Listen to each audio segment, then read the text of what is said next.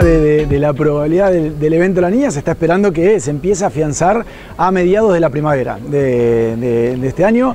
Ahí empecemos a tener la presencia del evento la niña. Entonces, ¿qué es lo que puede llegar a provocar esta situación? Bueno, que se atrase el inicio del momento de la lluvia. Nosotros comúnmente, fines de septiembre, principio de octubre, tenemos ese pulso de, de, lluvias más significativo. Bueno, en este caso en particular, al ser un evento la niña que ya para esa época debería estar afianzado, muy probablemente en vez de comenzar entre fines de septiembre y principio de octubre, se extienda y tarde un poco más en llegar esa lluvia fuerte de, primavera y tengamos que esperarlo a mitad de octubre o incluso, en el peor de los casos, hacia fines de octubre.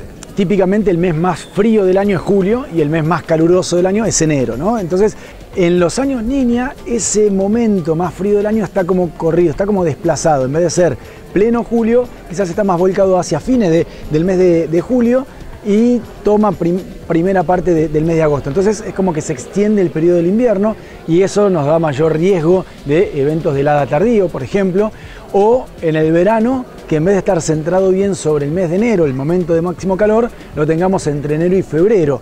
E incluso muchos años hasta marzo se extiende con temperaturas muy elevadas.